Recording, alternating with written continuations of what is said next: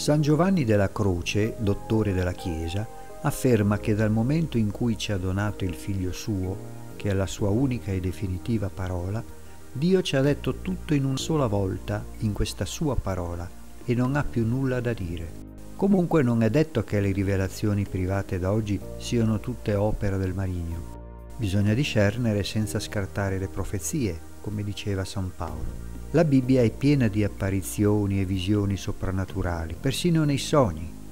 Proviamo a pensare ad Abramo, Isacco, Giacobbe, Mosè, Giosuè, Davide, Salomone, Elia, i profeti, Zaccaria, Giuseppe, Maria, Gesù Cristo stesso che è apparso risorto per 40 giorni, San Paolo ed il profeta Anania, eccetera.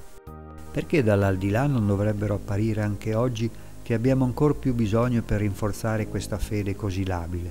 Il catechismo comunque sostiene che pur non appartenendo al deposito della fede, le rivelazioni private possono aiutare a vivere la stessa fede, purché mantengano il loro stretto orientamento a Cristo.